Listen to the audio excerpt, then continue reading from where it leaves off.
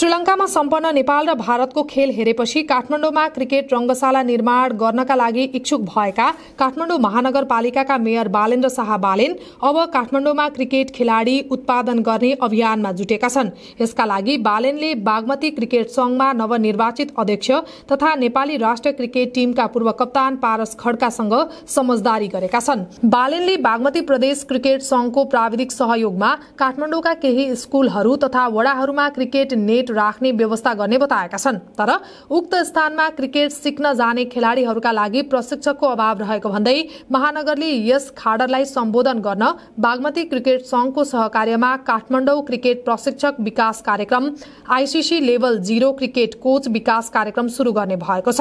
Cricket खेलाडी र प्रशिक्षक उत्पादन गर्ने समझदारीको जानकारी दिँदै बालेनले भनेका छन् पारस खड्का ज्ञानेन्द्र मल्ल पृथु बास्कोटापछि काठमाडौँबाट राष्ट्रिय टोलीबाट प्रतिनिधित्व प्रतिनिधित्व गर्ने अर्को खेलाडी नै निस्किएन कारण काठमाडौँमा खेल्ने वातावरण नै नभएर हो।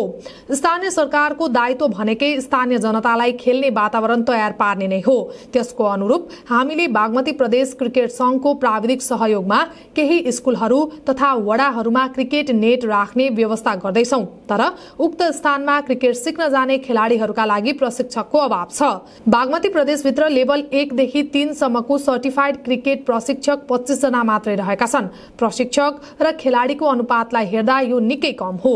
यस खाडालाई सम्बोधन गर्न हामीले बागमती क्रिकेट संघको सहकार्यमा काठमाडौँ क्रिकेट प्रशिक्षक विकास कार्यक्रम आइसिसी लेभल क्रिकेट कोच विकास कार्यक्रम शुरू गर्दैछौ। जस अन्तर्गत पचास नयाँ क्रिकेट प्रशिक्षकहरूलाई तालिम दिई त्यसपछि सहरभरका इच्छुक खेलाडीहरूलाई क्रिकेटको ज्ञान र सिपहरू फैलाउन सहयोग गर्नेछ। यस्ता कार्यक्रम मार्फत युवाहरूलाई अनुशासन टिम वर्क र नेतृत्व कौशल विकास गर्ने ठाउँ दिने ट्यालेन्ट पुल क्रिकेट प्रतिभाको संख्या बढाई राष्ट्रिय र अन्तर्राष्ट्रिय स्तरहरूमा सम्भावित प्रतिनिधिहरूको पहिचान गरी क्षमता अभिवृद्धि गर्नेछ। मेयर बालेनले मेयरमा निर्वाचित भएदेखि नै क्रिकेट खेलाडीहरूलाई हौसला प्रदान गरिरहेका छन्। उनी हरेक प्रतिष्ठित खेल प्रतियोगिताहरूमा मैदानमै पुगेर खेल हेर्ने गर्दछन्।